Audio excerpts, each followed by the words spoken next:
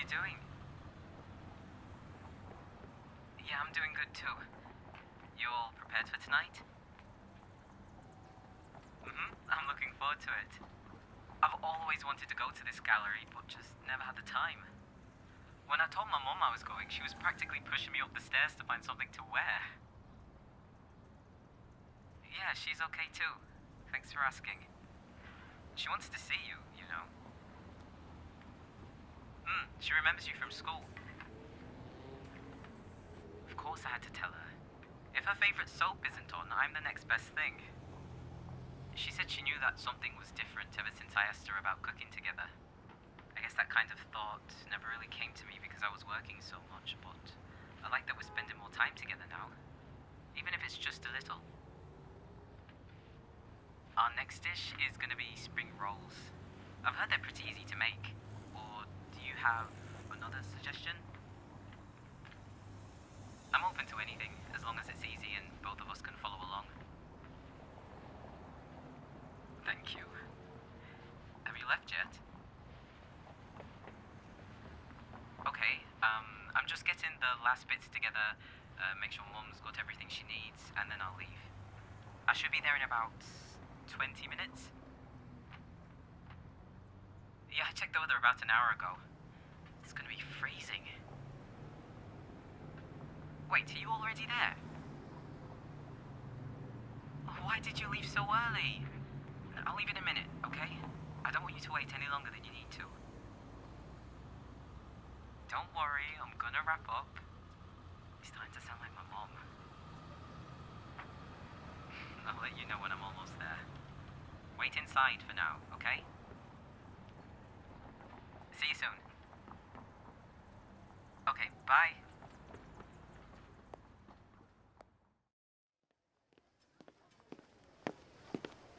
Hey! You weren't lying when you said to wrap up. It's so cold. If you told me you wanted to be here earlier, I would have. I'm not late for anything, am I? Okay, good. Uh, you look really nice, by the way. I know you said smart casual, but I feel like I could have done a little better. You think it's alright?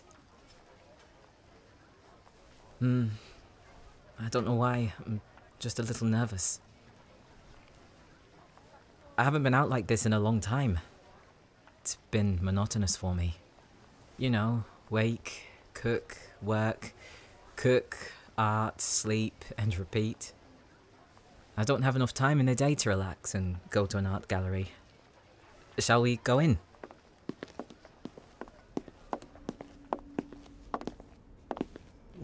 Look at that architecture.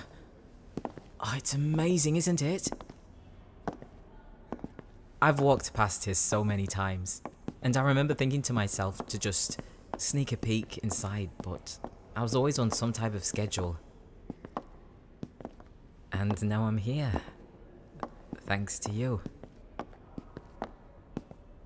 No, I would have come myself, but when I have so much to do, I don't really think about taking days off to chill. I've been grinding for so long that it's hard to slow down and take a breather. Yeah, I know I need to change that and have one every once in a while instead of never. Still, it's it's a nice change of pace. Oh yeah! I remember seeing that this gallery had exclusives. I can't believe Michael Serini even allowed his works to be put on display. He's a really talented artist, known for painting across so many genres. Uh, Impressionism, Fauvism, uh, Baroque, uh, Neoclassicism. Oh, he's so good. I don't know how he does it. No one really knows anything about him, he's so private. You'd think he lived through all of those artistic movements, it's actually insane. The range in his portfolio is amazing, and the fact that he's such an enigma makes his work even more mysterious and intriguing. Yeah, I wanted to do my dissertation on him, but I knew there wouldn't be enough information. I don't even know how this curator even managed to do it. I was going to write about aesthetic emotions across movements and compare the similarities if there were any, and Serini was the first artist that came to mind because his art expands across so much. Like this one in particular, The Waning Sunrise. The title alone is an oxymoron, so it's already a bit of a riddle. And then when you really look at it, you see in the eastern horizon that the sun doesn't look right. It looks off, doesn't it? And then if you pair that with the colour scheme he uses, it makes me feel some kind of hopelessness. Even though there's so much life in the painting like the birds, the trees and the family underneath, it feels cold. Almost detached in a way. And some of his other works are similar. I don't know how, but he conveys so much emotion through a scene that's objectively meant to give you some type of peace, and instead gives you context behind the image through his use of colour and abstract dimensions. That's... that was a lot, wasn't it? I'm... I'm sorry. When it comes to art, I can just ramble on. And Serini is one of my favourite artists. Ah, stop. It's not cute if I talk your ears off. Come on, let's find something that speaks to you. Tonight isn't just about me. I don't know. It can be anything. I mean, this gallery has all sorts. Hey, don't say me! Ugh, you can't be so cheesy. It's sweet and all, but I'm not used to hearing it. No, it's not your job to help me get used to it. I just... Honestly, if I pictured who I'd be here with, it wouldn't be you. No offense, I, I didn't think I'd ever see you again. Or if I did, we'd have no interaction. I kind of made my peace with what happened. Well, as much as I could have. But life seems to throw curveballs, and in this instance, I might be glad I caught it. Because now I can start to heal. We both can. I think it's about time, right? I'm not normally the type of person that holds on to grudges, but when something hurts so deep, you leave it there and hope one day it'll disappear. Was it the same for you? Yeah, we were young and stupid back then. And now here we are, admiring the, uh, what is this? The Centurion Messenger by someone called Dimitri Dagon... Dagon? 1864. Hmm. Something tells me you have no idea what to look at. You sort of look like a deer in headlights, to be honest. I'm thankful that you brought me here. Really, it's... it's a nice gesture. And it was luck that Serini's works are here. I don't know if I'll still do that dissertation on him. My academic days are over, and I'm not that good at essays. But I'm confident enough to say that I know what I'm talking about, and I know my research. Me? A teacher? No, I don't think so. I still clam up when I'm in front of a lot of people. Do you remember when we had to do that presentation for English? And we had to do it in front of the whole year? I was so nervous. To the point where I pretended I was feeling sick so I could skip it and do it in front of the class instead the next day. Yeah, that's what I did. There was no way I could present in front of everyone, even with the advice my mum gave me eyes to the front, don't look at anyone, and if you feel like you need to throw up, run. it's better I run than chuck up over the first row of students. I didn't want to give them any more fuel to bully me. I don't think I would have survived school if that happened. Yeah, you're right. Today isn't about them. And I shouldn't give them what they want years down the line. You know, I'm still surprised. even though you went your own way and we hadn't seen each other in years, you still held on to that. Mm, purity? Is that the right word? No, not innocence. Um, optimism. I'm glad that nothing really got rid of it. It helped me a lot. Your carefree attitude. You're still carefree, actually. Yeah, doing things at your own pace and not because someone else told you to do it. I know you're still not sure about what to do career-wise, but you've always been the type to grab things when they're close enough. Me, on the other hand, I have to meticulously plan just because I can't deal with untidiness and uncertainty. You think it ruins the fun? Hmm. Maybe. I think we balance each other pretty well then. Hey. No, everything's fine. I, I just... I know you're not into this type of stuff. And the fact that you brought me here is enough to tell me that you're really, really trying. I see it. It wasn't too much. I appreciate the thought. But I want you to enjoy today as well. Like I said, it's not just about me. Do you want to stay a little longer? Or should we hunt for some stupidly expensive hot dog stands? Mm-hmm, my treat. I can always come back and see the rest of Serini's works. They're exclusive to this gallery, so they're not going anywhere. Okay, let's go.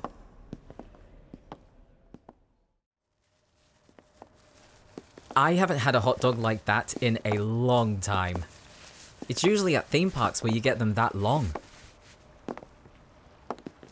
Yeah, it tasted really good. I never would have thought of putting pickles on a hot dog, so I'm surprised. I might start doing that for mum, actually. Yes, well, you are the chef, so I'm starting to trust that you've got knowledge about food that I don't. I value it a lot. Just like I'm valuing spending more time with mum in the kitchen because of your advice. I wasn't expecting it, but it's good that I got it when I did. Because if I didn't, nothing in my life would have changed. I'd still be doing extra shifts. Well, more than I'm doing now. I'd hassle mom to not do anything and do everything myself. I just want her to have a good life, you know? Not to stress or think about what's coming in the future. Hmm, you have a point. If I don't let her do anything, all she might do is think about the future. Have I been forcing her this entire time? I hope that she sees I'm doing everything for her. I love her. I wouldn't be here without her, so I wanted to make sure she had the best life ever. I'm sorry that I keep talking about it. Are you sure? I just don't have anyone else to really vent to. Well, not vent, but to talk about it with. I made some friends at university, but none that stayed fully. You know how people say you meet your lifelong friends at uni? Friends that you'll hang on to for years after. I didn't really do that.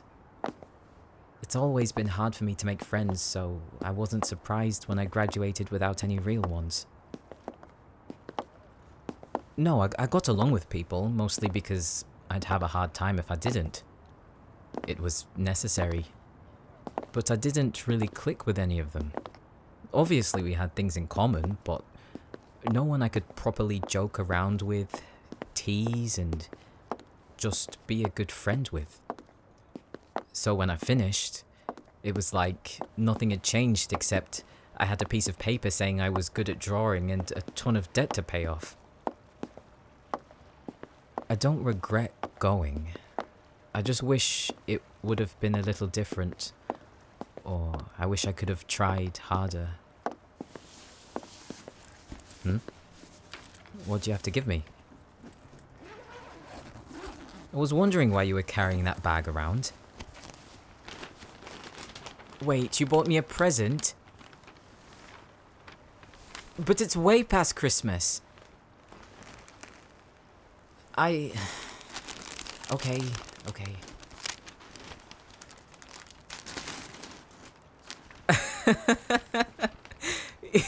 you got me an apron? Wait, a Bob Ross cooking apron? That's... Thank you. I... I really, really like it. I, I swear I'm not joking. Honestly, thank you. Do you mind if I hug you? Well, we're in public, so I, I just want to make sure you're okay with it. Okay. I feel bad I haven't gotten you anything. Alright, how about this? Seeing as my mom wants to see you and I can never refuse her, why don't you come round next time and I can cook you something? Though I'm not promising any Michelin star level dinner, just something that I'm semi-confident at. Yeah, I'll wear the apron. I'm actually really looking forward to using it. And you never know, there might come a time in the future where I'll feel weird cooking without one. I do that thing other chefs do where they put the towel on the shoulder. I saw it in some YouTube videos and thought I'd try it out. I quite liked how I looked. And I felt like a pro. Maybe you could show me a tip or two? Mom will be stoked. I haven't brought a friend around in a long time, so I'm sure she'll be paying just as much attention. I did? Oh, it sort of slipped out. I think I'm starting to see you as a friend, yeah. Starting being the key word here. I think the fact that I know you want to change and that you're trying to is helping me heal from before. I'd be more surprised if you were the same person as you were back then, but I'm I'm glad you're not. Honestly, I thought you'd be nerdier. well, there's always time to be. I can give you a tour of my room. I haven't organised all the merch yet, but I have a fair few. Attack on Titan is probably my biggest one. Have you watched that yet? I wanted to get the uh, the Wings of Freedom as a tattoo on my back at one point, but I'm glad I shot that thought down pretty quick. Maybe I am still a weeb at heart. It helps keep my art creative. The colours, the animation, it's all seamless and inspiring at the same time. I'd love to do something like that. Inspire other people with my work. I think that's the ultimate goal. Thanks. I think I'll get there too. One day. Oh, this is mine. Thank you for today. I'll let you know when I get in. Be safe. I'll talk to you later.